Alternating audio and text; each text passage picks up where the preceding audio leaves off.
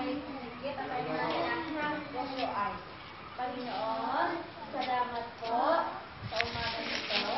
Sakto yung kamay. Eh.